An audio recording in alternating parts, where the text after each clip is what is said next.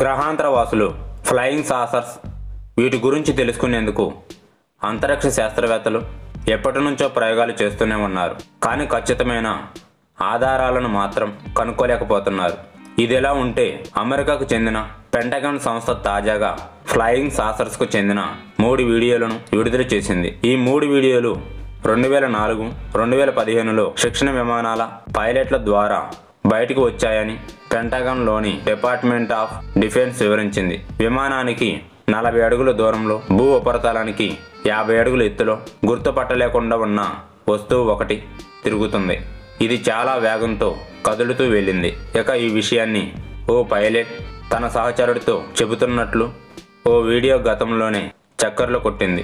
ఇదిలా ఉంటే ఇందులో రెండు వీడియోలను రెండు వేల పదిహేడులో న్యూయార్క్ టైమ్స్ ప్రచురించగా ఇంకో వీడియోను to the stars academy of arts and science group ఒక మీడియం మరియు ప్రైవేట్ సైన్స్ సంస్థ విడుదల చేసింది.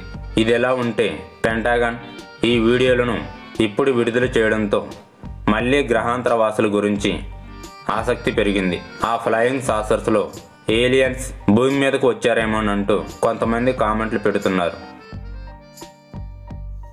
మీకు ఈ వీడియో నచ్చితే లైక్ చేయండి మీ ఫ్రెండ్స్ అండ్ ఫ్యామిలీకి షేర్ చేయండి. ఇలాంటి మరిన్ని వీడియోస్ కోసం ఈ ఛానల్ సబ్స్క్రైబ్ చేసుకోండి.